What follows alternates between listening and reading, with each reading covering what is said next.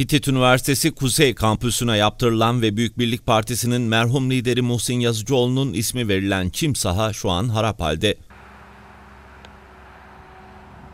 Uzun zamandır kullanılmaması nedeniyle bakımı da yaptırılmayan yeşil sahaları ot bürürken, spor karşılaşmalarında kullanılmak üzere kullanılan minderler ise güneş ve yağmurun insafına bırakılmış durumda.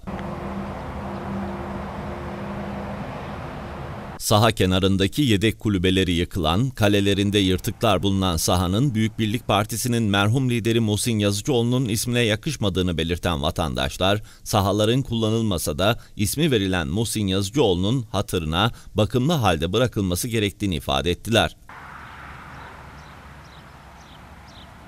Diğer taraftan binlerce lira harcanarak yapılan ve 2019 yılında Gençlik ve Spor Bakanı Doktor Mehmet Muharrem Kasaboğlu tarafından hizmete açılan Muhsin Yazıcıoğlu Stadyumu'nun göz göre göre harabeye dönmesine Hitit Üniversitesi yetkilileri ise hiçbir şey yapmadan izliyor.